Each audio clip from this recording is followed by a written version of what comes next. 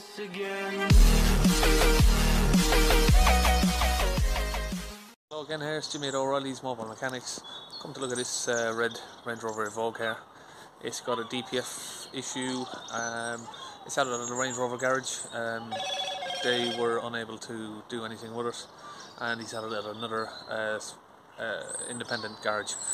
And they've said that there's nothing they can do either. Um, the DPF is beyond repair. So I'm just going to have a quick look at it and see if there's something we can do. And I think there's a few tricks I can show you how we can get this back up and running besides writing off the DPF and spending thousands of pounds on it. Okay, we're just inside. Let's try and get this thing started up. Oh, sorry, press the clutch, of course. Exhaust filter full, visit dealer, uh, which he's already done. Uh, they've refused to uh, do anything with it. And you can see it's got the engine management light on there. Service required as well. Uh, it's done 67,000 miles. So we'll get it plugged in on diagnostics and see what we're looking at. Okay, here's some of the details here. It's a 2016 2, 2 litre diesel. So I'm just going to press OK on that. I'm going to run a diagnostic scan. So basically, what the customers told me is the garage, Land Rover dealership, and the independent garage garages both said that the DPF is beyond cleaning uh, because it says on the scan that uh, it's too full to start a, a regeneration process or start anything else. But uh, we can put a clean through it. Um, sometimes when you do a clean on most of these newer cars, some cars, like you've seen in our other videos, will give you like a live feed showing you the, the percentage dropping after we flushed it. But some of these, once they've got so so much, uh, once it's triggered off this uh, warning, basically, um, no matter how much cleaning you do, it will not show up on the diagnostic. It will just stay at that 200% or whatever it's at until you actually reset it. Um, then it will show you the, the um, actual reading going up or down where it should be. But once it's once it's set that warning off, it will be locked in position basically on the percentage. So we're just going through all of the rest of these items. Some of these are not relevant, but we're just going through the full vehicle, just in case there's other modules somewhere where they might have an what might seem like an irrelevant fault, but you never know what uh, DPFs, all sorts of other stuff can trigger off. Uh, you know, the car to go into this uh, sort of non-regeneration mode where the DPF can get clogged. So we'll have a look at the trouble codes. And Okay, so that's in the history. I don't know why someone's not mentioned that before, but hopefully that's just where the other garage was looking at it. Maybe they've unplugged some bits and pieces because it's in the history, it's not present. But they've got a permanent fault there, P2463 uh, 00, and it's a permanent fault for the soot accumulation. So if we try to clear the codes, let's see what happens. Now, apparently, the other guards have said that the codes are impossible to clear. Now, might clear temporarily. There you go, we got one back. And there you go, it's back again. Now it's classed as temporary until you start it up. It'll then go to a permanent fault. So, that's the problem that they're having. So, what I'm going to do first is I'm going to flush it and then I'll show you how we can get this fault to clear. Because now that's logged. It's basically saying it's on beyond repair. You can't clear the, code until you, you put a new DPF in it. And I'll actually do this bit first just to um, get to show you. So I'm going to go into the hot functions or it might be in the service option on this card even depending on where we're at. So DPF and what I'm going to do is basically tell it that the DPF has has had a new one. It's been cleaned. It's brand new, so it can reset all of the uh, um, settings. Okay, now it will tell you to, to not to uh, not to do this unless you've actually fitted a new one because it's likely to damage the DPF. But I mean, if it's beyond repair anyway, it's um you, you're not going to do anything anything to it.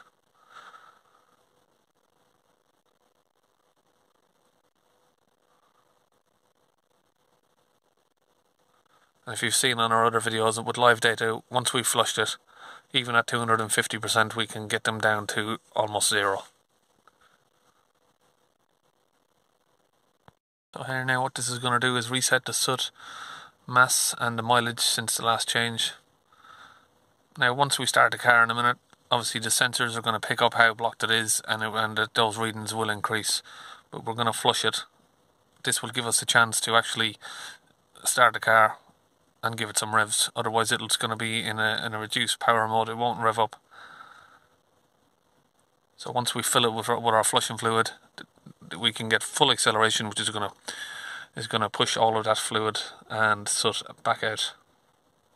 So that's done. That's complete. Turn the ignition off. Press OK. Turn the ignition back on.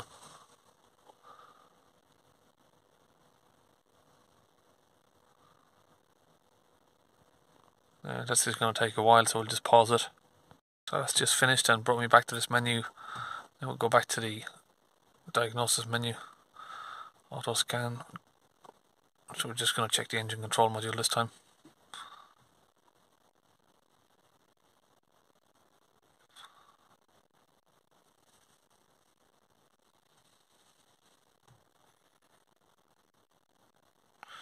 Exit that. I haven't got the. Uh, I haven't got the engine control module coming up there, so yeah, there we are. Okay, power control module, there you see, pass no fault. And we can go in there, check it to confirm. It's gone. So that will return after a few minutes of driving, but we're going to flush it now and if need be we can reset all of this again after after the flush. We're just gonna we're just resetting that beforehand just to show you how that can be done. Lift the bonnet up. You can see that they've definitely crammed that engine in there. Engine is raised way above the um, slant panel there. So that's why they've raised the bonnet to make it fit. It's the uh, Ingenium engine. Engine cover off there just down the back here we have the DPF pressure sensor and you've got two tubes, one and two going down to the DPF there. So just down the back here, got a little uh, 8mm bolt, just getting that out. And now we can just uh, pull this about a little bit, just gives a little bit of play on it. And we need to access the bigger tube, which is always the one before the DPF. Just get a light on there, which is this one on the left it should be. So just pull the plug off, leave that aside, and see if we can get this. Won't give you much room. They could have made the tubes a little bit longer so you could at least get some slack on them. But we need to open these clips here. I'm going to open this clip. And just because of the position they're in, we're using some of these angled pliers. Now we've got that off, we can just pull the tube out. Okay, so we're using a couple of litres of this Wynn's DPF cleaner put it into our dispenser here and we can get this connected up to that DPF pressure sensor hose using this little connector here that we've got. Okay, so we've just pushed that into there, nice and tug, tugged it tonight, and tugged tight, and we're going to pump this up, which will flush the fluid into the DPF.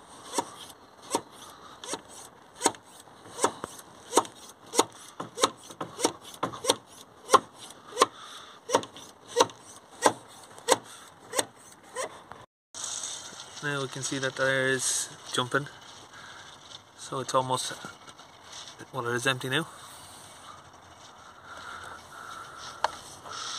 And we'll just pull that out. Now that's all connected back together we'll let that sit for a few minutes and we'll go back in on our diagnostic machine. So here's the message that the other cartridges are getting if the soot mass is above the upper limit, this function will be will end and you will be instructed to replace the filter. So that's that's where they were coming stuck. Uh, now we've obviously reset that. This will all be okay to go ahead. We're not going to actually do the uh, regeneration. What we're going to do now is start the vehicle up. And now you can see already there's no warnings because we obviously reset it, but they will return if you don't flush it. So we are flushing the DPF now, and we're going to go outside. We should see a lot of uh, foam and etc. If you've seen some of our videos. Just going to connect our laser pedal depressor, and we'll set the car to around about two and a half thousand RPM.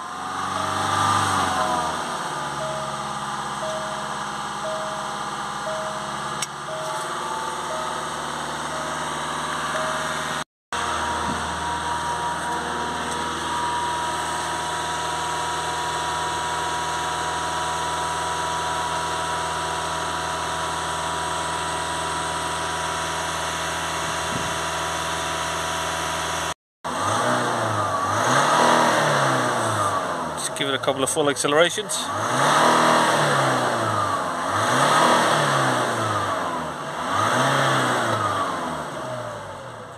And we'll disconnect back, back our pedal depressor.